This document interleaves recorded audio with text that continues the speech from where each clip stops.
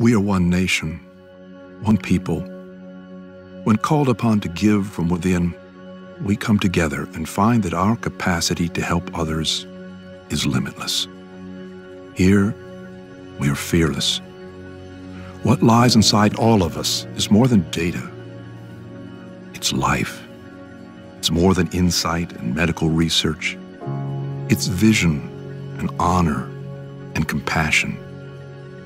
What's flowing through America's veins is its diversity.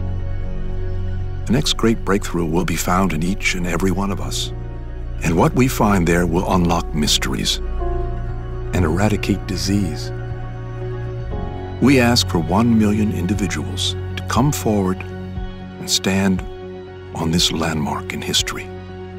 We ask America to do, once again, what she has always done lead the way forward. We're one nation, one people, but all of us are different. And it's those very differences that will lead to answers for generations to come.